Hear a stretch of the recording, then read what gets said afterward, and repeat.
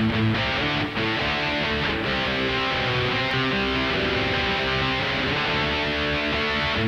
back.